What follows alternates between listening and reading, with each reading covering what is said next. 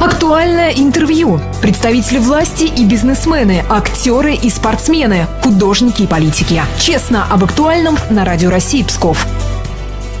Здравствуйте, уважаемые радиослушатели. В эфире передача «Актуальное интервью» и я ведущий Анатолий Тиханов. Сегодня мы поговорим о таком показательном явлении или симптоме даже современной жизни, как профессиональное выгорание. Под этим понятием мы имеем в виду истощение эмоциональных, умственных, энергетических ресурсов человека, который развивается на фоне сильного хронического стресса на работе. Мне кажется, это уже явление можно отнести в разряд социальных. Поговорим на эту тему с психологом Еленой Середой. Елена Ивановна, здравствуйте. Добрый день, Анатолий Иванович. Ну, это же в каком-то смысле действительно социальная проблема. Не только здоровье человека, но когда этому симптому подвержены многие слои населения, которые работают, активно работают, это представляет какую-то угрозу социальной жизни, так? Ну, я бы не называла это угрозой все-таки. Я бы назвала это влиянием явлением психологическим, которое оказывает влияние не только на людей, которые этот синдром эмоционального выгорания переживают, имеют, да, на профессионалов, ну вот учителей, врачей, социальных работников, психологов, ну, в некоторой степени юристов, я думаю, и сотрудников полиции тоже, которые непосредственно, например, работают с населением, да, это влияние оказывает синдром на членов их семей. Вот в чем вред ну или в чем негативизм заключается, да, на членов их семьи и на тех людей, с которыми они непосредственно взаимодействуют.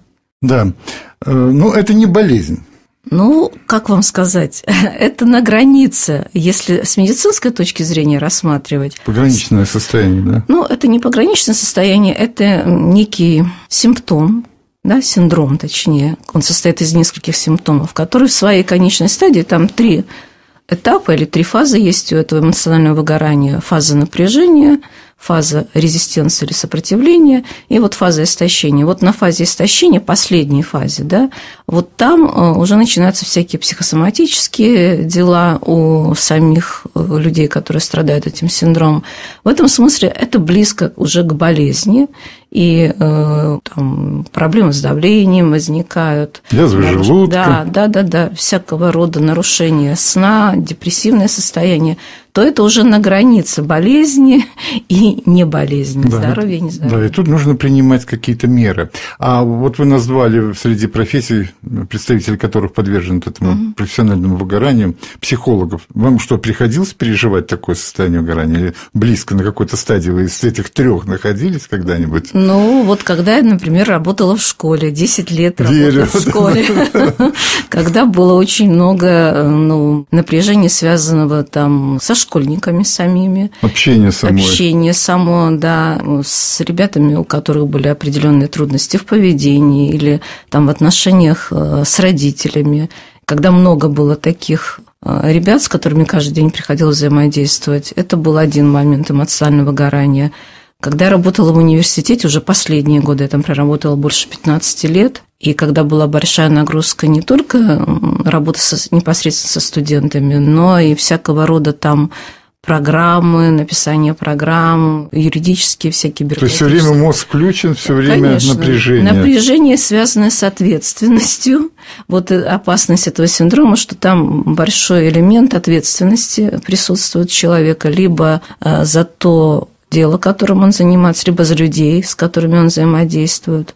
Вот эта ответственность, она тоже давит. Мне кажется, это профессиональное выгорание – это явление не только современное. Мне кажется, оно всегда было. в любые эпохи, в любые формации – Например, судя вот по описанию современников, например, Николай I очень этим страдал. Человек, который работал там как лошадь, он себя называл, что я здесь как на галерах, имея в виду свою должность. Ну, вы знаете, вот синдром эмоционального выгорания все таки он в большей степени у людей, которые работают в профессии человек-человек. В сфере, где очень много, очень эмоционально заряженное общение с другими людьми в разном состоянии. Но не секрет, что, например, к врачам тоже приходят пациенты не только спокойные, но, например, тревожные или, наоборот, взбудораженные. Ну, как правило.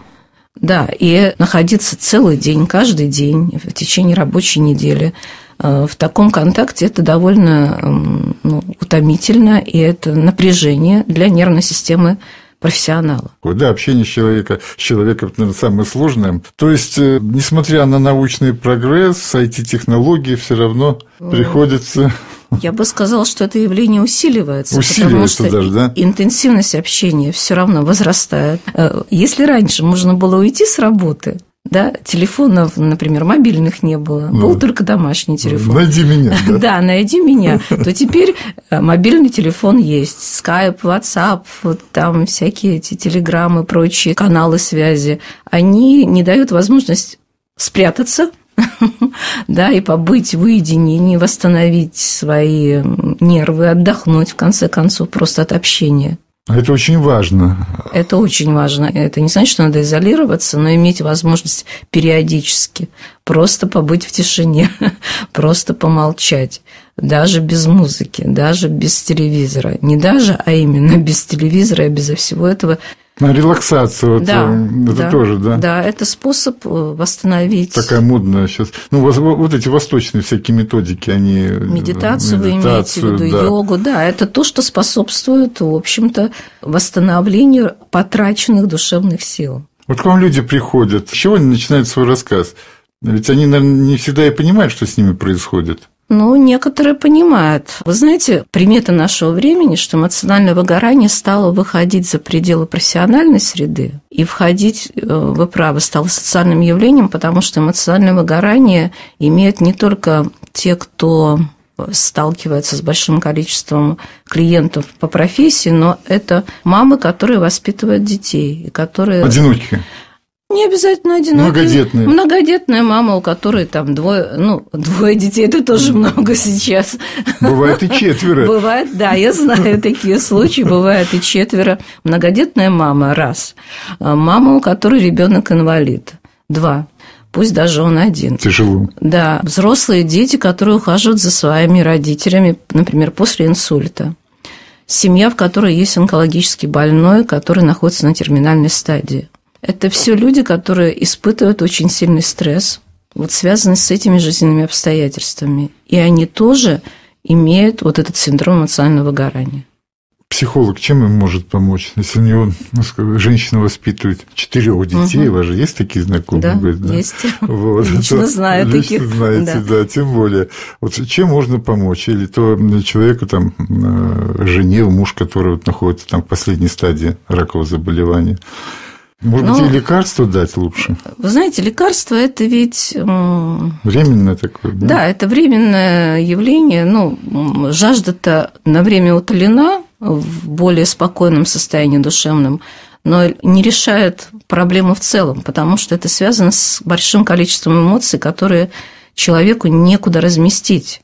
И вот возможность говорить о своем эмоциональном состоянии, даже попросту пожаловаться другому слушателю – и таким образом ну, облегчить вот это напряжение, выпустить это напряжение. Исповедь. Да. Ну, исповедь, возможность быть услышанным, быть понятым, получить сочувствие, просто человеческое сочувствие, это уже помогает вот это эмоциональное выгорание уменьшить.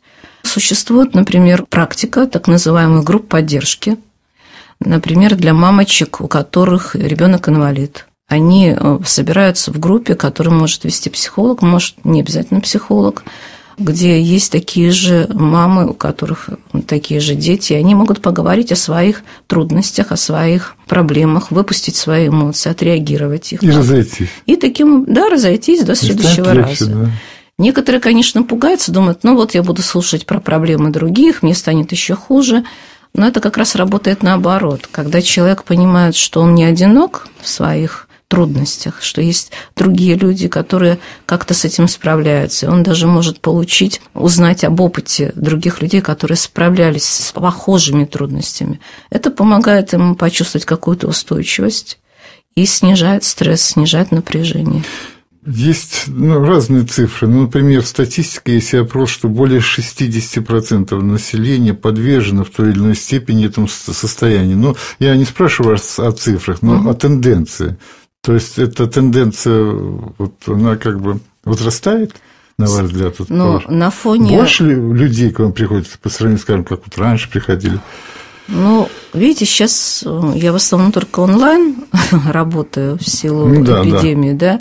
Мои коллеги, которые работают ну, очно и которые тоже онлайн работают, они отмечают эту тенденцию, что и даже статьи на эту тему уже в зарубежных журналах есть психологов, которые пишут как раз о том, что в эпоху пандемии, да, вот это эмоциональное выгорание, тревога, она усиливается. Боязнь заболеть, да, вы имеете в виду? Нет, не, не только боязнь заболеть, а тревожность, связанная с непредсказуемостью в целом ситуации. Ну, потому что с работой у некоторых проблемы возникают, особенно у тех, кто работает в сфере услуг. Будет эта работа или не будет, будет этот заработок или не будет э, возможности общаться с близкими. Ну, не секрет, что у нас члены семей там кто-то находится замужем, кто-то по работе находится за границей, и возможность общаться ограничена. Границы закрыты сейчас. Ну, встретиться с близкими сложно. Возможности для отдыха тоже, опять же, изменились, к сожалению. А отдыхать надо, иначе работать невозможно. Ну, и жить, в общем-то, тяжело, да. Стресс накапливается, приводит либо к психосоматике, либо к каким-то другим отклонениям, ну, к алкоголизации, например. Да, многие вообще старый русский да, способ. Да, да снять пить. напряжение при помощи алкоголя. Сейчас э, люди охотнее идут к психологу, потому что раньше психолог и психиатр считали идентичными понятиями. Да, раньше была такая на бытовом уровне, знак равенства ставился между этими двумя профессиями. И лет 20 назад, когда я работала в школе школьным психологом, э, дети многие говорили, со мной все в порядке. Они путали психолога и психиатра. и взрослые путали. И взрослые тоже, да, это было так. Сейчас ситуация сильно изменилась, кардинально. По крайней мере, большинство образованных людей не относятся так, не ставят знак равенства между этими двумя профессиями и, в общем, более лояльным стало общество, и более того, понимает, когда нужно идти к психиатру, а когда нужно идти к психологу уже. Скажите, к вам вот такие люди с этим вот э, профессиональным выгоранием часто обращаются? Вы же по разным направлениям работаете. Ну, вот... Э, ну, с самим вот этим симптомом или синдромом да, как сим... таковым по этому поводу обращаются редко. Скорее приходят с какими-то проблемами либо там профессиональных взаимоотношений на работе, либо в семье какие-то трудности, либо с детьми, либо со второй половиной. Больше такого рода обращения. Но часто под этим поверхностным запросом, да, оказывается, что, например, человек много работает, или партнер, там, супруг супруга много работает. Из-за этого возникает напряжение, связанное с воспитанием детей, в частности, а, потому что, особенно мальчики – они увлекаются многие компьютерными играми, причем играми, которые я не знаю в деталях, как это все происходит, но играми, которые, на которые тратятся деньги этих подростков. И у них появляется зависимость от этих игр. А мама в одиночку иногда не справляется с этой проблемой, и это закономерно, потому что отцовская фигура играет большую роль в воспитании ребенка, мальчика особенно – вот с этим. То есть, ну да, вот это состояние, вот, о котором мы говорим, профессиональное выгорание, оно с любой точки зрения, с любой стороны может прийти. Да. Да. Даже, казалось бы, не явно, а на самом деле. А вот как вы относитесь к трудоголикам? Это хорошо? А вот трудоголизм – это одно из проявлений, кстати, Мне этого кажется, синдрома. трудоголику хорошо, ведь он же, ему это в кайф. Это способ убежать, например, от трудностей во взаимоотношениях в семье.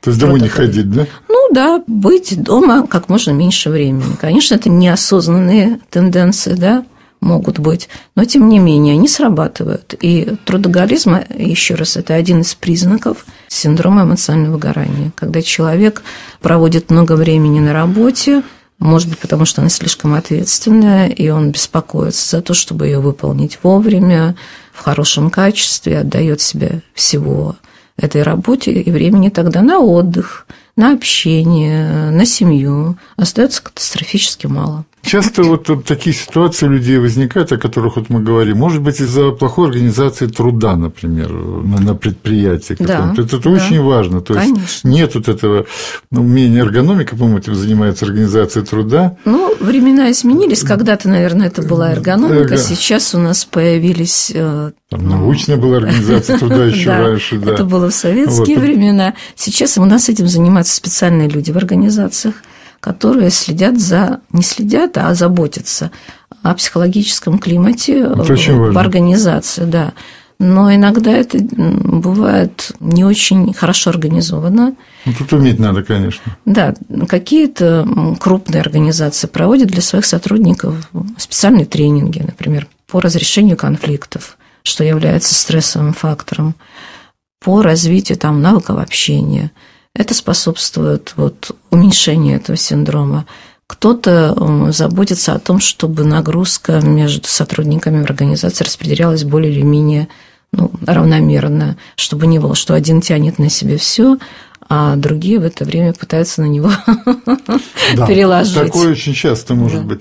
Да, конечно, я знаю, что есть некоторые руководители, которые, если замечают, что их подчиненным 8 часов мало, да. вот, они думают, что он плохо работает, да. как ни странно. Почему ты не можешь организовать это первое? Ну, скажем, угу. я просто из западного опыта это следует. Вот, поэтому это тоже очень важный момент. Ну, я думаю, что вот бессмысленность работы еще накладывает большой отпечаток. Когда человек не видит смысла в той работе, которой он занимается, она ему в тягость, вот, она мгновенно влияет на его душевное состояние, даже если он не перерабатывает. Да. Ну, как тяну лямку. Согласна. Но вы знаете, ведь это тоже выбор самого человека. Оставаться на такой бессмысленной работе, ну, просто выполнять бессмысленные поручения или что-то делать. А в этом смысле много зависит от самого сотрудника. У него есть выбор – оставаться, работать там, где он работает, ну или что-то делать проводились социальные опросы среди разных слоев населения, которые, которым угрожает угу. этого состояния. Где-то более трети, по-моему, 43% банковских, банковских угу. служащих сказали, что надо менять работу лучше угу. всего, чтобы вот не выгорать. Наверное, это тоже хороший ход, если человек но часто держит зарплату, потому что... Да, особенно в маленьких городах, где возможности найти другую работу с, ну, примерно таким же уровнем или чуть выше, зарплаты не очень большие. Это Москва, Питер, там больше свободы и возможностей больше, ну, в больших городах. В маленьком городе не так-то просто эту самую работу поменять на другую. Тогда можно все таки ну, при желании, если человек не хочет поступаться этой стороной своей жизни. Наверное, можно как-то влиять на организацию внутри, ну, в том числе через обратную связь руководителям или руководителям интересоваться состоянием своих сотрудников. Ну, это, это, это очень сложно, да. Вы знаете, мне кажется, что грамотный руководитель, руководитель, который заботится а, во-первых, о том, чтобы его организация работала успешно и приносила ему же, ну, если он владелец бизнеса, ему же прибыль, то он будет заботиться о своих подчиненных, о своих сотрудниках. Не очень грамотный руководитель, он этого делать не будет. Ну да, мы можем только одно посоветовать, что человеку нельзя доводить себя до такого состояния, это важно иметь в виду, нужно какую-то иметь тогда установку психологическую, когда ты чувствуешь, что у тебя могут такие проблемы начаться, и пытаться какие-то найти способы разгрузить себя. Ну вот, ни в коем случае нельзя отдаваться вот этому, наверное, потоку. Ну, неплохо бы его сначала осознавать, вот, вот это, это состояние, да. у себя замечать. Потому что если человек игнорирует вот эти симптомы, они проявляются, например, в раздражительности, они проявляются в безразличии, которое появляется в определенный момент, они проявляются в усталости тотальной, которая не проходит даже во время отпуска. Вот если вся эта симптоматика начинает проявляться, то неплохо бы ну, обратиться или к специалисту, или начать заботиться о себе через регулирование баланса труда и отдыха все-таки баланса нагрузки, деятельности на работе и возможности восстановить свои силы физические и душевные. Ну да, верный симптом это сразу можно первый, наверное, самое главное это бессонница. Да. Один из да, важных. самых очевидных да. Спасибо, Елена Ивановна. Я хочу напомнить, что моим собеседником в студии была психолог Елена Середа. Время в эфире заканчивается. Всего доброго, берегите свое здоровье и не доводите себя до профессионального выгорания. С вами был Анатолий Тиханов. До свидания.